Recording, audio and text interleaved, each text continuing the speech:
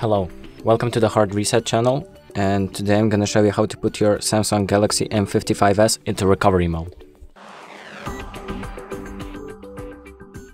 So the first thing you're gonna do is you're gonna get your phone and you're going to turn it off by going to the power icon and just clicking power off.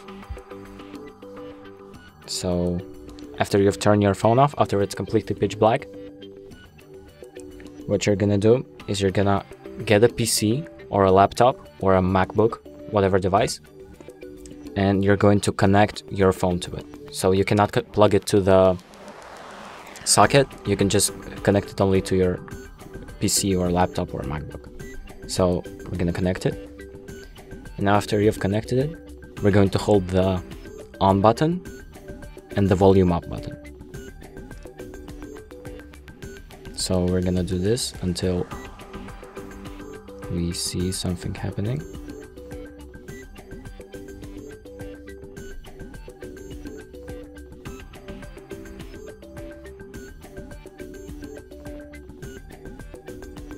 Once again.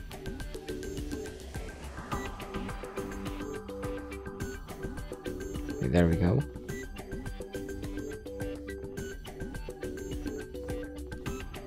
So we can release now.